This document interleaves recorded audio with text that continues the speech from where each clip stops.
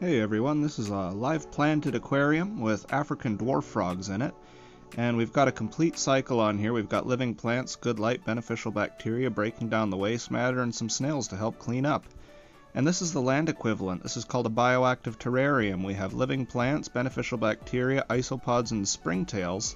Uh, and these guys will help uh, process all of the waste matter from the animals and make it usable for the plants to grow with.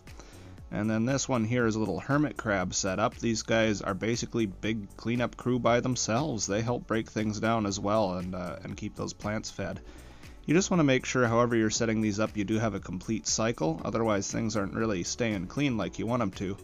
But you can also have fun with it. This is a paludarium. This is a combination of both. We've got a landmass here with living plants and, and water filtering through it, and then an aquatic area with more living plants. Uh, and then here's another example of a paludarium. This one's a little bit taller with a waterfall in it, but I've got a filter intaking water, and then the water spills into that pot, which is also basically filtration uh, with living plants in it. And this just keeps things nice and clean. If you have questions, stop by, check it out. We'll see you here.